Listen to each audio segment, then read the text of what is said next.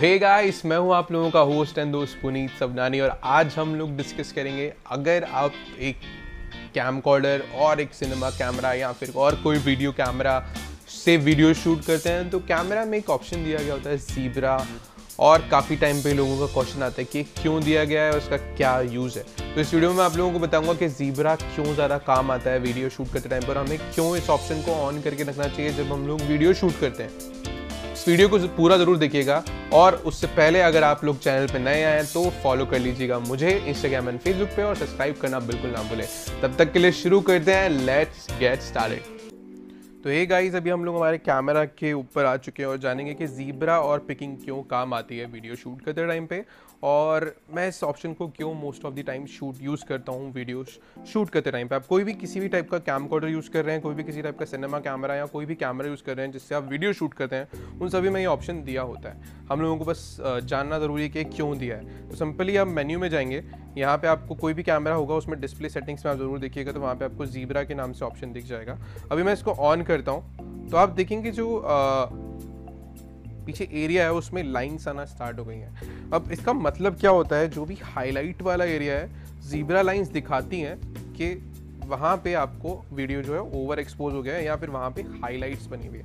अब जैसे ही मैं इसको थोड़ा सा वीडियो को अंडर एक्सपोज करता हूँ तो आप देखिएगा जो कि लाइन्स हैं वो धीरे धीरे कम होती जाएँगी। और जैसे जैसे मैं बढ़ाऊँगा, ये लाइन्स हैं चारों तरफ़ वीडियो में बढ़ती हुई दिखेंगी आपको। ये एक बहुत अच्छा ऑप्शन है आपके हाईलाइट वाले एरिया को जानने के लिए।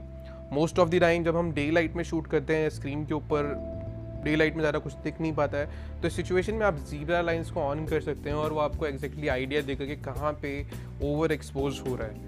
आप एग्जैक्टली exactly अपने सब्जेक्ट को प्रॉपरली एक्सपोज कर पाएँगे। अब इस सिचुएशन में मेरे लिए जो सब्जेक्ट है वो मेरी कार है और मैं चाहता हूँ कि उसके ऊपर जो है हाईलाइट कम से कम आए हाईलाइट कम से कम हो।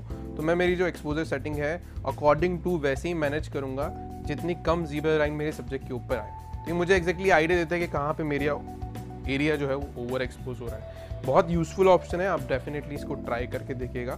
फिर सेकेंड ऑप्शन के बारे में बात करते हैं, वो है पिकिंग मैं इसको एक बार ऑफ़ कर देता हूँ। इसको बोलते हैं फोकस पिकिंग तो अगेन वो डिस्प्ले वाले ऑप्शन में कहीं ना कहीं आपको किसी भी कैमरा में मिल जाएगा।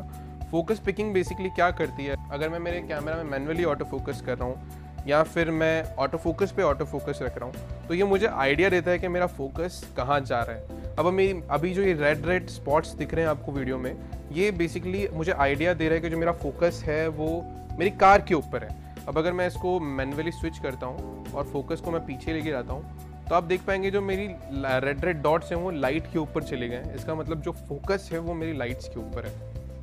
ये बहुत ही यूज़फुल ऑप्शन है जब आप फोकस मैनुअली एडजस्ट करते हो अपने हाथों से। या फिर कई बार हम लोग डे लाइट में होते हैं और छोटी स्क्रीन होने की वजह से कैमरा पे हम लोग अपने सब्जेक्ट के ऊपर कहाँ फोकस जा रहा है, वो आइडिया नहीं लगा पाते हैं। तो वहाँ पे पिकिंग बहुत ज़्यादा काम आती है आपके सब्जेक्ट पे एग्जैक्टली exactly आइडिया देने के लिए कि आपका फोकस है कहाँ पे। तो ये ऑप्शन भी आप यूज़ करके और ट्राई करके देखिएगा। बहुत ही यूज़फुल ऑप्शन है। बहुत टाइम पे मैं इसे वीडियो शूट करते टाइम पे ऑन करके रखता हूँ। इवन जैसे मेरे पास एन एक्स है तो इसमें पिकिंग का आप लोग कलर भी चेंज कर सकते हो। तो अगर आपको रेड कलर पसंद है, आपको वाइट कलर पसंद है और येलो कलर पसंद है तो आप कुछ कैमराज में ये ऑप्शन दिया होता है और ये बहुत अच्छा ऑप्शन है। जैसा कलर आपको चाहिए, वैसी आप पिकिंग सेलेक्ट कर सकते हो। तो ये बहुत अच्छा ऑप्शन है और बहुत टाइम पे मैं यूज़ करता हूँ। डेफिनेटली आप भी ट्राई करके देखिएगा। तो आशा करता हूँ आप लोगों को ये वीडियो पसंद आया होगा। पसंद आया हो तो सब्सक्राइब करना बिल्कुल ना भूलें मेरे चैनल को और फॉलो कर सकते हैं मुझे इंस्टाग्राम एंड फेसबुक पे। डिस्क्रिप्शन में दिए होंगे लिंक कमेंट करके बिल्कुल ज़रूर बताइए कि आप लोगों को कैसा लगा ये वीडियो अगर आप लोग इस फीचर के बारे में पहले से ही जानते हैं तो ज़रूर कमेंट करके मुझे बताइएगा। Thank you for watching this video stay tune and stay rock